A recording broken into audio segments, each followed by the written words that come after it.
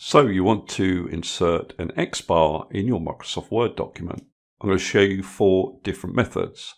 First method, click to the right of the X that you've typed in your Word document, go to the Insert tab on your ribbon, go over to the Symbol button and select More Symbols. Font needs to be normal text, that should be the default. Subset should be combining diacritical marks. You'll then see your two bars. You've got a short bar and a long bar. So I'll select a short bar, click on Insert, it places the bar above the X. I'll close this dialog box. Second method, click to the right of the X that you want to place a bar above, hold down Alt on your keyboard, and then on the numeric keyboard type 0772.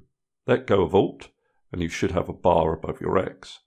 If you want a longer bar, Hold down Alt on your keyboard and on your numeric keyboard type 0773 and that will give you a longer bar. If this method doesn't work, press the numlock button on your keyboard and it should work. Third method. To the right of your X type 0304, then select those numbers, hold down Alt on your keyboard and then press X and you'll have a short bar above your X. If you want a long bar, type 0305 to the right of your X, select those numbers, hold down Alt on your keyboard, then press X.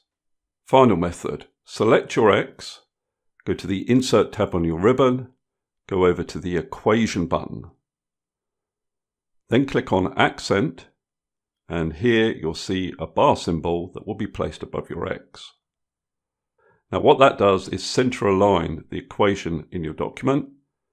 If you don't want that, just go to Home and change the alignment back to left align and you're good to go.